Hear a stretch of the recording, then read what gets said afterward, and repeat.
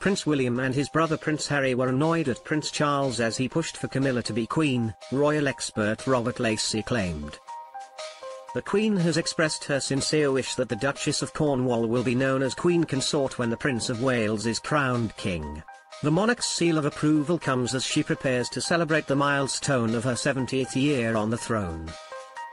In a statement, Prince Charles said, On this historic day, my wife and I join you all in congratulating Her Majesty the Queen on the remarkable achievement of serving this nation, the realms and Commonwealth for 70 years. The Queen's devotion to the welfare of all her people inspires still greater admiration with each passing year. We are deeply conscious of the honor represented by my mother's wish.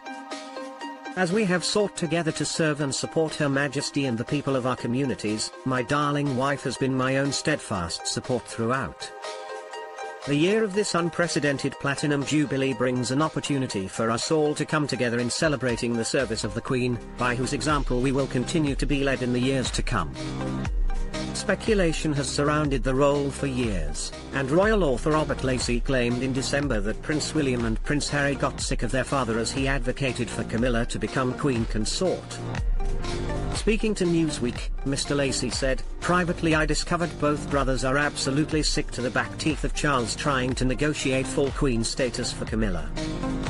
Newsweek also quoted a YouGov poll that showed only 13% of people in the UK would want Camilla to be queen consort, compared to 41% wanting her to be princess consort. But royal author Penny Junor said Camilla will be perfect for the role. She added, there's no reason on earth why she shouldn't be. They were both divorcees and the past was unfortunate. It happened.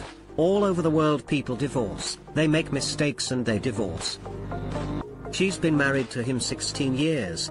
She has been a superb duchess. She has slowly, slowly worked her way into the role. There's no sense that she's in competition with him.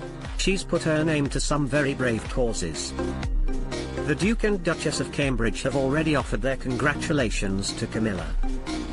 In a post published to Her Majesty's official Instagram account, at their royal family, a snippet of her letter published to mark the 70th anniversary of her own accession, which declares her public backing of Duchess Camilla's succession was liked by William and Kate via their own Instagram account.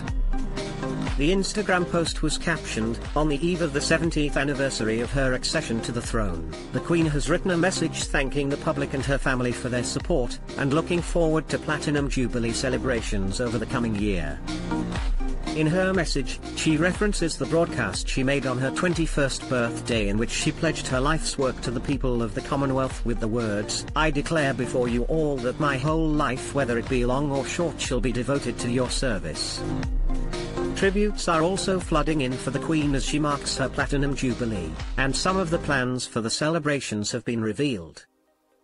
To celebrate the unprecedented anniversary, events will take place throughout the year, culminating in a four-day UK bank holiday weekend from June 2nd to June 5th.